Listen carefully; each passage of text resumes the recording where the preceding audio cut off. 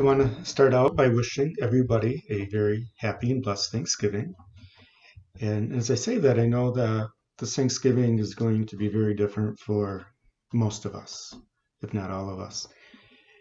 Many of us will be be gathering with family and friends, and there'll be empty spaces at the table. Some of us will want so badly to be to travel somewhere else, but because of the pandemic, we're making that decision um, not to. And so, in that midst, in the midst of, you know, this what can be a very difficult time, is not to lose the sense of what is truly important. Because we know that Thanksgiving is that time to come together as family. And even if there are empty places at our tables, and if we're not able to gather with family as we would hope, that we can't forget to take this day, this Thanksgiving, to, to truly be grateful for the connections that we have, um, the love that we share, and the, and the concern we have for, for family members. And so let's be grateful for, for one another, and let's be also grateful, as I am, for, for you, my family here at this parish. Um, so I want to take this time to thank you for all that you do and all that you are. Um, but one thing that I want to call us to do this Thanksgiving is, is whatever you may, wherever you may be and whatever you may be about on Thanksgiving is, is to do these things. One is to perhaps to pray with us. Um, if you can come to Mass, great. Uh, it's Thursday at 9, but come and pray with us online at 9 o'clock.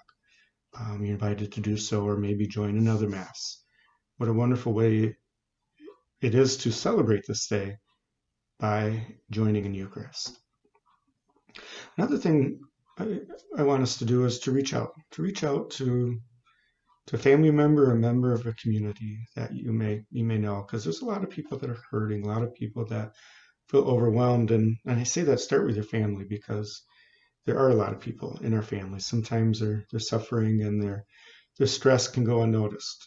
Um, we really need to hear from and depend on one another. So, so reach out.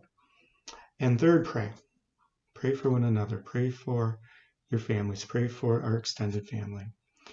Uh, pray for all of those who who are sick. Um, those are in the, fighting this disease at home or in the hospitals, and and pray in a special way for all of those that are caring for them. Um, they're they're doing a great job, and they are overwhelmed, and they need our support and prayers. And so again, as I wish everybody happy Thanksgiving, um, again, it's that time to to turn to God and to be grateful for His grace, His providence, His love, and His life.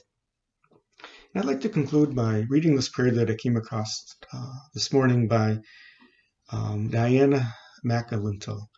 Um, I know her as an author, and she works a lot with liturgy and RCIA.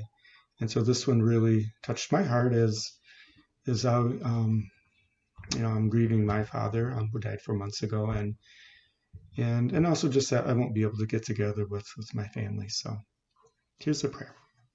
It's a Thanksgiving prayer in time of pandemic. On this Thanksgiving day, like no other, even now, O God, your name is worthy to be praised. For in your mercy and kindness, no thought of ours is left unguarded, no tear unheeded, and no joy unnoticed. For the blessings we have known, and for those we have yet to re- recognize. To you we give our grateful thanks. For life, that reminds us how fragile we are and also how strong we can be. We thank you, O God. For sheltering, that urges us to rediscover what truly matters. We thank you, O God. For communication, that allows us to connect in ways new and old.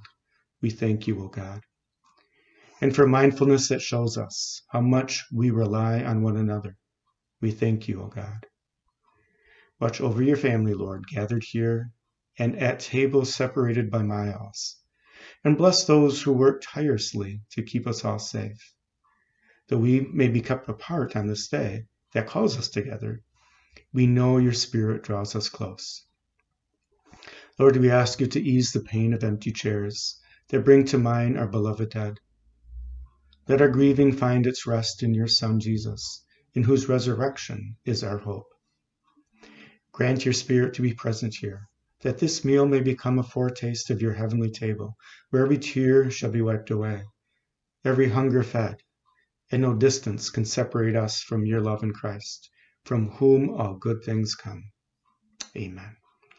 So this is my prayer for you. This is my prayer for for my uh, family, and it's something I'm going to share with them and pray for them on on Thanksgiving Day. Thank you and God bless.